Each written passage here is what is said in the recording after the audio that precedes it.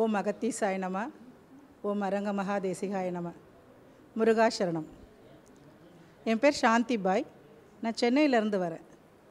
ஐயாவோட எனக்கு இந்த ஆன்மீக தொடர்பு என்பது ஒரு பதிமூன்று ஆண்டுகளுக்கு மேலாக ஒரு வழக்கத்தில் உள்ளது.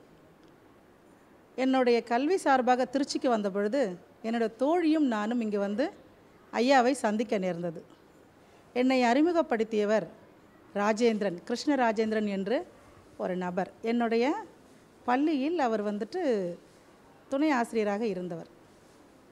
ஐயாவை வந்து பார்க்கும்பொழுது ஐயா கேட்டார் என்கிட்ட நீங்கள் எங்கேருந்து வரீங்கன்னு கேட்டார் நான் சென்னையிலேருந்து வரேன் அப்படின்னு. கறி மீன்லாம் சாப்பிடுவியான்னு கேட்டாங்க. நான் ஒன்றுமே சொல்லலை சும்மா இருந்தேன்.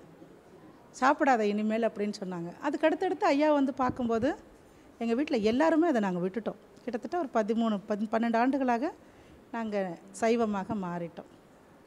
பக்கத்தில் இருக்கிறவர் என்னோட கணவர். சொல்லுங்கள் நான் சென்னையிலேருந்து வரேங்க நான் இந்த ஆசிரமத்துக்கு வந்துட்டு அவர் அரசு பணியில் இருக்கிறார். நான் ஒரு பள்ளி ஆசிரியை. ரெண்டாயிரத்தி பன்னிரெண்டாம் ஆண்டு இவருக்கு ஒரு மைல்டு அட்டாக் வந்துச்சு. அப்போ ஒரு அப்- ஒரு பிரபலமான மருத்துவமனையில் சேர்த்தோம். அங்கே ஒரு அஞ்சு எடுத்தாங்க. மறுபடியும் இன்னொரு இப்போ அங்கேருந்து இன்னொரு பிரபலமான மருத்துவமனைக்கு போகும்போது அவங்க மறுபடியும் எடுக்கணும்னு சொன்னாங்க. முக்கியமாக பார்க்க வேண்டியது என்னென்னா ரெண்டு முறை ஆஞ்சி எடுக்கவே கூடாது. மருத்துவர்கள் செய்யக்கூடாத தப்பை அந்த மருத்துவமனை செஞ்சது. அதையெல்லாம் பார்த்துட்டு அவருக்கு அறுவை சிகிச்சை தான் செய்யணும் அப்படின்ற நிலைமைக்கு வந்துருச்சு. இப்போ அவர் சொன்னார் ஐயாட்ட வேண்டின ஒன்றே ஒன்று ரொம்ப ஆன்மீகத்திலலாம் தொடர்பு இல்லாதவர். ஆனால் ஐயாவை ரொம்ப நம்புவார். உங்களை நம்பினேன் எனக்கு கூட இந்த நிலைமை அப்படின்னு வருத்தப்பட்டாங்க. அவர் வருத்தப்பட்ட ஒரே நேரம் அதுதான். அப்போது அவர் என்ன சொன்னார் அப்படின்னா இந்த சொன்னதும் ஒரு மறுநாள் ஒரு எட்டு மணி இருக்கும். ஒரு எட்டு மணிக்கு எல்லாருக்குமே ஒரே நேரத்தில் ஒரு நண்பர்கள்கிட்ட இருந்து தொலைபேசி வருது. ஒரு டாக்டரை பரிந்துரை பண்ணுறாங்க மூணு பேருமே சேர்ந்து பரிந்துரை பண்ணுறாங்க அப்படி பரிந்துரை பண்ண ஒரு டாக்டர் அவரோட பேர் சொல்ல நான் ரொம்ப பெருமைப்படுறேன் சந்தோஷப்படுறேன். டாக்டர் ஜேஎஸ்என் மூர்த்தி ராமச்சந்திரா மருத்துவமனையில் இருக்கார். அவர்கிட்ட என்னோடய மக அவருடைய சீடியெல்லாம் காட்டினாங்க. காட்டினப்போ ஐம்பது சதவிகிதம் உங்கள் அப்பாவுக்கு ஆப்ரேஷன் தேவையில்லை. ஆனால் நீங்கள் அவரை நேரில் என்கிட்ட கூட்டிகிட்டு வந்தீங்கன்னா தவிர என்னால் முழுமையாக சொல்ல முடியாது அப்படின்னு சொன்னாங்க. யார் கொடுத்த தைரியம்னு தெரியாது. ஹாஸ்பிட்டல்லேருந்து டிஸ்சார்ஜ் பண்ணி தைரியமாக கூட்டிகிட்டு வந்துட்டோம். கூட்டிகிட்டு வந்து அவர்கிட்ட காட்டுறோம் ஜனவரி ஒன்பதாம் தேதி. உங்களுக்கு ஆப்ரேஷன் தேவையில்லை. வெறும் மருந்துகள்லேயே உங்கள் உடம்ப நான் பார்த்துக்கிறேன் இங்கே பயப்படாதீங்கன்னு சொன்னார். அந்த நேரத்தில் நாங்கள் அடைஞ்ச மகிழ்ச்சிக்கு அளவே கிடையாது.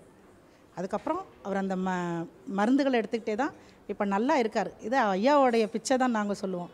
அதனால் எப்பவும் யார் கேட்டாலும் நாங்கள் எங்களோட ஐயா வந்து பார்க்குற தெய்வம் நடமாடும் தெய்வம் அப்படி தான் நாங்கள் நினச்சிருக்கோம்.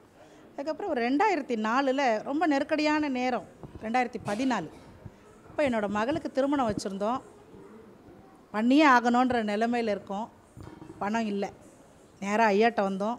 பேசினோம். கடன் வாங்காத அப்படின்னாரு. ஒன்றுமே இல்லை ஐயா அப்படின்னோம்.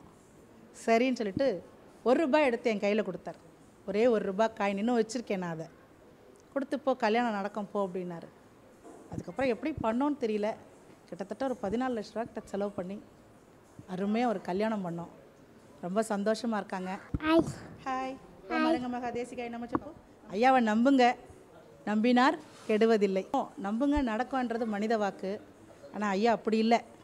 நீங்கள் நம்பாமல் எங்கே இருந்தாலும் எத்தனை கோடி தூரத்தில் இருந்தாலும் உங்கள் கண் முன்னாடி வந்து உங்களுக்கு உங்கள் நீங்கள் என்ன நினைக்கிறீங்களோ அதை நடத்தி கொடுப்பார். கண்டிப்பாக செய்வார். ஓம் மகத்தீசாய நம. ஓம் முருகா. நன்றி. வணக்கம்.